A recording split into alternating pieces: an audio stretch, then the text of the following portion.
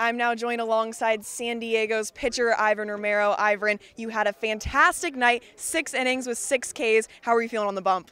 Felt great. I mean, I got in a groove and uh, just kept going, so it felt great. Yeah. And this Harwich team, they have some big bats, but you were shutting them down left and right. What pitches do you think were working the best for you?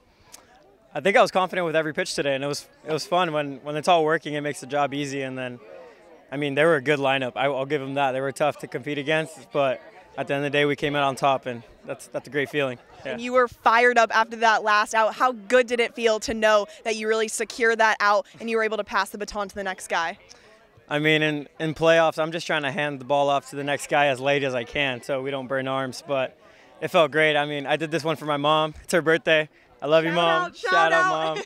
uh, second time pitching on her birthday, and I it's, it's special, you know. Such a special moment. How much does your mom mean to you, just in baseball, outside of baseball, everything? I mean, she means everything. She's been my best friend since day one, and uh, she's she's got she's the reason I'm here right now. And uh, I couldn't have a better mom, and I'm just so thankful for my entire family and, and everything she's done for us. I know they're so proud. And how special yeah. is it to have a year two in the playoffs? Do you think that's helping you with that experience last summer with YD?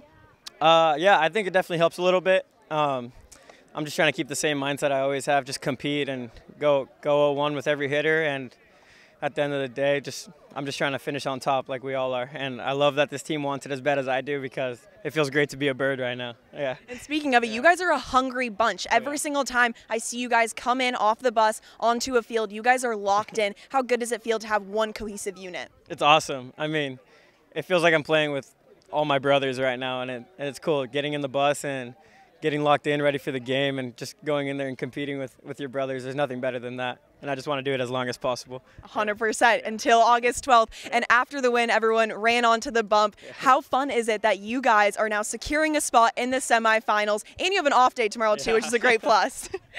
I mean, it feels great. Off day, off day definitely helps everybody. I know we all want to relax a little bit, but let's just get right back to it on Monday, right where we left off. Yeah. Thank you so much. Thank Go you. celebrate with the guys.